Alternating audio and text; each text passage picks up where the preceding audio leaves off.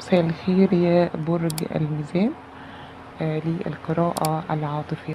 ويا رب تكون تنول يعني أعجابكم إن شاء الله. هنخش على الطاقة العامة. برج الميزان أنت في طاقة الاختفاء وإعادة آه النظر في أمور ممكن وممكن تكون مختفي عن الشريك أو الشريك هو اللي مختفي عنك آه ولكن يمكن أن يكون برضو خيبة أمل مثلا بتعيش خيبة أمل ممكن آه. آه، الشريك كده طاقته جامد عليك قوي أو جامد عليك ومصدر لك وش مش لطيف ويعني مسك على مشاعره وقافل مشاعره عنك نهائي وإنت فعلا بتعيش زي ما تكون زعلان أو مش فاهم هو إيه اللي بيحصل. فعايزين نشوف طيب إيه اللي بيحصل هنا بقى. آه. طيب. برج الميزان مبدئيا كده الشريك قاصد إنه يعمل كده. قاصد إنه يمسك عليك لأن طاقته حاليا الامبرور والشخصية دي شخصية مش سهلة وشخصية مش مش سهلة ومش لطيفة لا يعني هي مش سهلة عموما. شخص بياخد قرارات حازمة وطوالي يعني هو قرار قرار. قرار بالرحيل يبقى قرار بالرحيل قرار بالزواج يبقى قرار بالزواج. من الآخر ممكن تكون بتتعامل مع حد من برج أسد حوت وحمل. إحنا ماشيين دلوقتي في الطاقات يعني هقول لكم. فشخص مش مش هزار وما بياخد قرار بياخد قرار ما بيرجعش أصلا فيه. في المقابل أنت في طاقة بالظبط طاقة تعب نفسي وشاعر بخيبة أمل. دول ناس ماشية من مكان وهم مش شحاتين بس هم مش عارفين يخشوا البيت ده من البرد. بس رجليهم يعني باظت وحالهم بال- بالبلع زي ما بيقولوا. و فانت شاعر باليتم مشاعر اليتم كده. كأن آه كأن حد آه مثلا شخص لا قدر الله يعني ربنا يبعد عن أي حد توفى عنه أباه. بالظبط كده. انت كنت بتعتبر الشخص ده زي والدك. بالظبط زي والدك.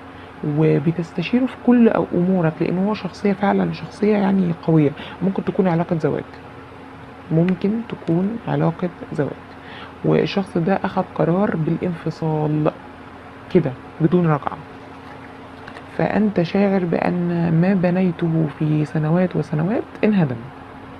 وخيبة أمل عالية قوي قوي قوي قوي وشاعر باليتم شاعر باليتم طب مبدئيا كده أنا عايز أعرف هو ليه خد القرار ده؟ ممكن يكون خد القرار ده يعني من وحي خياله؟ على فكرة هو مستقوي عليك قوي زي ما يكون قاصد مثلا مستقوي آه ده انفصال. الشخص ده لو كانت علاقة عاطفية فهو حابب إنه ينفصل عنك لإنه حابب يبقى سنجل من الآخر. و واخد قرار بجد مش هزار فعلا قرار بجد. وشاعر بإن ده الحكم الصح. وده كان اللي المفروض يحصل. هو شايف إن ده اللي كان المفروض يحصل من الآخر. وهو عايز يبقى سنجل إنما لو هو متزوج يعني أنتوا متزوجين في علاقة زوجية فممكن يكون عينه على حد تاني. من الآخر كده. وعايز يروح يتزوجوا بقى. وشاعر إن الشخص التاني ده هو ال- اللي حلو يعني. عشان كده قافل على الموضوع خالص. عايز يقفل على الموضوع خالص. واخد قرار صريح يعني. لكن هو مجمد مشاعره قوي عليك. قوي قوي. لو برج حمل فده الطبيعي يعني من برج الحمل. وانت انت انت شاعر بان في شيء انهدم. في شيء انهدم. انت تعبان جدا يعني. ممكن تكون من من كتر الزعل بتبكي. مرة واحدة كده تلاقي نفسك عيطت. بدون أي هدف يعني. مش هدف يعني لا لما بتفتكر مثلا مرة واحدة. طب هو شايفك إزاي في الوضع الحالي؟ شايفك إن أنت تعبان؟ بص بقى يعني بص الراجل ده جبروت. انت ممكن تكون عملت حركة زعلته منه زعل زعلت يعني زعلته منك. ممكن تكون آه عملت حركة قفش عليك. ممكن ممكن مش ممكن لا ليه؟ ممكن. شايفك إن أنت تعبان جدا جدا جدا جدا جدا. ممكن تكون بتح... يعني محسسه بإن هو لو علاقة زوجية وأنتوا بتشوفوا بعض في البيت فأنت ما بتنامش معاه في نفس الأوضة. وتعبان. و زي ما يكون مش بتترجاه. بتقول له طيب يعني نعيد نعيد تاني نعيد حاجة. قالك لا أنا واخد قراري. أنا عايز أمشي لو سمحت. سيبني أمشي. بص أنت شايفه إيه؟ أنت شايفه ذا الصن ذا الصن دي دي بقى اللي أنا هتأكد منها. دي اللي أنا هتأكد منها. هل هو معاه طرف تاني ولا لا؟ طبعا لو مرتبطين ممكن يكون عايز يخلع من هذه العلاقة ويروح لحد تاني. امم شوف بقول يخلع جت يخلع. انت شايفه ان هو قرر الرحيل مرة واحدة؟ هو بالظبط كده ده اللي حصل. مرة واحدة عمل لك الوش ده. بدون أدنى سبب. بدون أدنى سبب. انت ممكن تكون ما عملتوش حاجة. عشان كده انت تعبان قوي. انت بتقول له إيه اللي حصل؟ وقرر يمشي بدون بدون ابداء أسباب. لوحده كده ممكن يكون عمل لك block لأن على آه ممكن يكون بالظبط ممكن يكون عمل لك block و وباصص لحاجة تانية. أنت شايف إن هو باصص لحاجة تانية ومتكبر عليك. ممكن يكون ما بيردش عليك لما تيجي تكلمه. عشان كده هو شايفك إن أنت تعبان. أنت ممكن تكون بعت له مسجات تقول له ليه؟ عملت معايا كده ليه؟ مثلا. بتبين له يعني إن في في في مشكلة. أنا تعبانة. أو أنا تعبان. أنت بتعمل معايا كده ليه يا أخي؟ ف فهو شايفك إن أنت تعبان من غيره ولكن هو مستمر في تحركاته. طيب إيه الخطوة اللي هياخدها؟ الخطوة دي أنا مش حباها خالص و آه الخطوة اللي هياخدها الشخص ده لو زوج هيطلق. هيكسر قلبه لأن هنا كارت المأذون وأنت هتوافق على الطلاق ده. لو زوج وفجأة كده قالك أنا عايز أطلق. طب ليه يا عم؟ طب ولادنا؟ الولاد. الولاد حرام عليك أهو. طفل في بينكوا أطفال. أنت عايز تطلق ليه؟ أنت عايز تطلق تطلق ليه؟ ليه عايز تطلق تطلق قصدي. آه. امم ده مستقوي قوي ده جبروت. عايز ياخد قرار الانفصال في أسرع وقت. في أسرع وقت. وممكن يكون بص ده Queen of Wands و Queen of Pentacles الشخص ده انت ممكن تكوني عارفة واحد بس. أنا هقول لكم على سيناريو ظهر لي فجأة كده. الشخص ده متزوج مش بيكي. it's okay okay. تمام. وقرر مرة واحدة إنه ينفصل عنك ليه؟ عشان هو شاف إن إن اللي حصل بينكوا ده ظلم لعيلته. وقال لك أنا آسف جدا أنا مش هينفع أكمل معاكي قلت له حرام عليك. طب واللي بينا طب وبتاع لك لا أنا عايز أمشي. لو سمحتي. عشان كده هنا في علاقة ثلاثية. في زوجة أهي. في زوجة. في زوجة. في زوجة في النص. هو شايفها إن هي ظلمها. شايف إن هي ظلمها. الزوجة دي ممكن تكون برج ترابي أو ناري وممكن تكوني زوجة تالتة.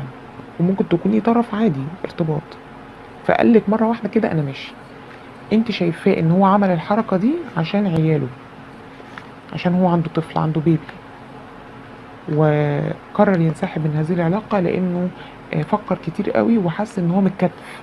مش عارف يبقى معاكي ولا معاك أنا بقولك ده متجوز راجل متجوز. ممكن تكوني اكتشفتي إنه متجوز. عشان كده عشان كده أنت ماشية تعبانة جدا. القرار اللي أنت هتاخديه إذا هيرفنت وده قرار حكيم أكيد هيرفنت بس ممكن يكون مأذون ممكن تكونوا متجوزين كزواج في السر. بس أنا هخليها برضو على علاقة عاطفية فهتبقى انفصال برضو. امم بالظبط بالظبط انت هتقرري ان انت تقفلي الشابتر بكل بكل بساطة. الشخص ده مش قابل منك أي عروض خالص. تقدمي له عرض؟ لا. وحتى هو لو قدم لك أي عرض مش هتوافقي أصلا. وقررتي إن انت تجمدي مشاعرك وتقفلي العلاقة دي خالص. أنت أو أنت قررت ترحلي لو هي زوجة لو هي زوجة فهي آم، خايفة من جوزها. أهو بتفكر في جوزها فكرت في جوزها راجعت نفسها وقالت إن أنا اللي بعمله ده حرام وعيب. حرام. إن أنا أكون بكلم راجل متجوزها إنها في في علاقة زواج في الموضوع. بس لو مش علاقة زواج خالص وارتباط فالشخص ده عنده طرف ثالث وحاسس إن الطرف الثالث ده اتظلم معاه قوي وقرر ينهي معاك أنت. وأنت حاسة بإنك قدمتي له عروض كتير قوي وهو مش راضي. هو باصص لحاجة تانية فهتقفلي الشابتر ده خالص من حياتك. شايف العلاقة دي بينكم إزاي؟ شايفها العشر ال- على فكرة الشخص ده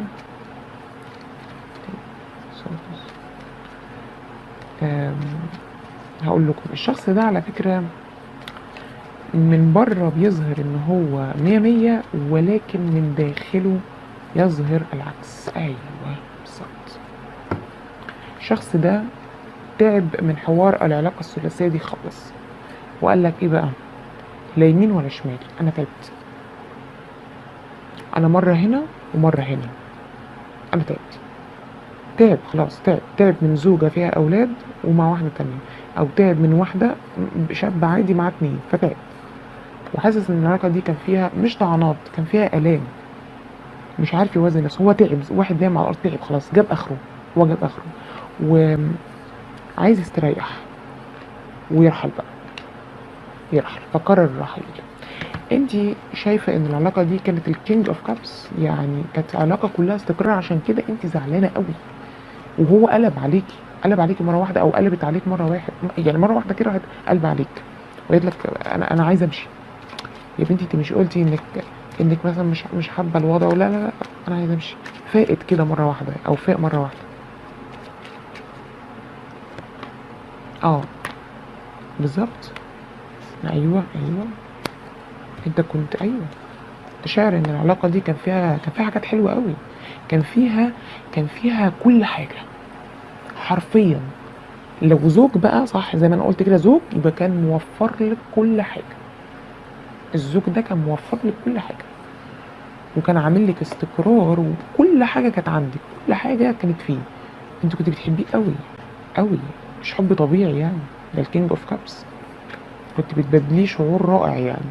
وهو كمان كان شاعر معاك الاستقرار. لكن أحيانا الإنسان ضميره بيصحى. هو ضميره صحي. بالظبط. ضميره صحي. فجأة. وحس إن هو ظالم حد معاه. ومتجه إليه. هي علاقة ثلاثية. في طرف تالت في العلاقة لو أنت ما تعرفيش. ولو ممكن يطلع متزوج وأنت مش كنتيش متجوزاه ولا حاجة انت في علاقة مع حب. متزوج وعنده طفل. وكان مخنوق جدا من إن ممكن يكون كان بيكلمك على الطفل ده كتير يقول لك أنا خايف أظلمه وأنا طب النصيحة إيه بقى يا برج الميزان؟ النصيحة بتقول لك إيه؟ خلص النصيحة بتقول لك أرجوك انظر إلى الأمام وارحل من هذه العلاقة. بص الكارت ده مش شبه الكارت ده بس في حاجات مشتركة. أقول لك إيه. العلاقة دي كان فيها استقرار صح؟ مش هكدب عليك. وكنت شاعر فيها بأنك الكينج. صح برضو مش هكدب عليك. ولكن أحيانا كثيرة لازم نرحل من علاقة من العلاقة دي. لازم. في شيء ناقص في العلاقة دي. إيه هو؟ الأمان مثلا. لأن ما يكون شخص متزوج وعنده عيلة عمره ما هيبقى فيه أمان. أنا أنا دماغي في ده في البيبي دماغي في عيالي دماغي في الزوج. ممكن تكون مراته عرفت على فكرة. أنا عايز أقول لك المفاجأة مراته ممكن تكون عرفت وقالت له طلقني. وح- وحس إن هو هيطلقها وفي عيال؟ لا. لا خلاص بقى أتعدل همشي عدل. هي حاجة حلوة إن الزوج يرجع لزوجته. ولكن في قلب بينكسر هنا في ناس شعر إن هي بتموت بتموت من الألم وأنت بينتي له بما فيه الكفايه إنك تعبانة. فالنصيحة بتقولك امشي حتى لو زعلانة بص لقدام. حتى لو زعلان متضايق من اللي حصل بص لقدام. امشي. مش دي العلاقة اللي أنت هترضيك. العلاقة دي مش فيها كل حاجة. طب هل في شيء جديد ممكن ينجي لبرج الميزان بعد العلاقة دي؟ دي حاجة عامة طبعا يعني ممكن تتحقق ممكن لا مش محدش يجي يقول لي محدش جالي. أنت هتشيل آلام الماضي يا برج الميزان. أو خلاص هي فتحت كده. آه أنت في عرض جايلك ولكن العرض متوقف. في حد مقدم لك عرض. شوف بقى دور حواليك. عشان كده الكابتن بيقول لك بص بص قدام. بص قدام عشان في حد مقدم لك عرض. بس تقريبا كده آه، ممكن يكون كان عارف إنك في علاقة و... وخايف. فحاول تديله اي لمحة كده. برج الميزان باينة جدا يعني هذه العلاقة علاقة ما فيهاش استقرار من ناحية الأمان. ولكن أنت كنت شايف فيها أنت كنت شايف كده. ياما بنشوف حاجات بتطلع غلط. عادي. ولكن ولكن اعلم جيدا أن هذا الطرف لو بعد عنك اسمع بقى. بعد عنك بعدت عنك. تمام؟ راجل وست مرة واحدة لأن أنت شاعر بالغموض. الشخص ده قفل عليك مية ونور من غير ما يقولك حاجة. أهو. الشخص ده متزوج. عنده علاقة س- تالتة. في منها أطفال. أهو. وقرر يستعيد العلاقة القديمة دي تاني. ممكن يكون كان مطلق ورجع. لو أنت ما تعرفش يعني. ممكن تكون أنت على علم بذلك. وسابك بقى في الحيرة دي. وعارف على فكرة إن أنت كنت بتحبه قوي وسابك. لكن الطرف ده شخص ما عندوش استقرار.